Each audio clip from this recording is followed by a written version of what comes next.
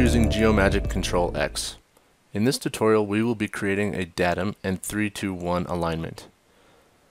Align the measured data to the reference data by selecting the Home tab.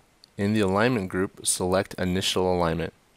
This tool can also be accessed from the Context menu by right-clicking in the Model Viewing window, then clicking the Initial Alignment. Initial Alignment is a quick command to register the reference and scan data together. The options are very limited and a second alignment is always recommended. Select the check mark to complete the command.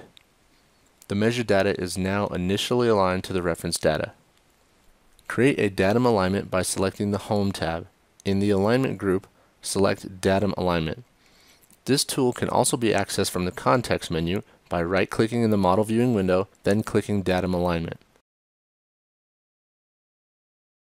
Define the datums by selecting faces on the reference data.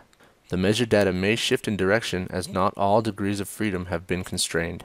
Note, if the faces on the CAD are exact geometry, the cursor will display the entity type.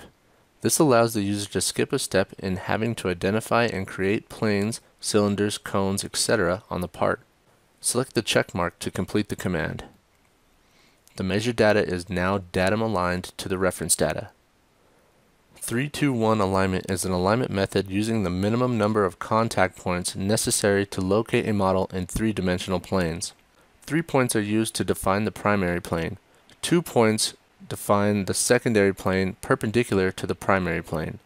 And the last single point defines the last plane that is perpendicular of both the primary and secondary plane. Create a 3-2-1 alignment by selecting the Home tab. In the Alignment group, select 3-2-1 Alignment. Click Plane, then select a plane in the reference data to define the z-axis. Click Vector, then select the cylinder in the reference data to define the y-axis. Click Position, then select the sphere in the reference data to define the x-axis. Select the checkmark to complete the command.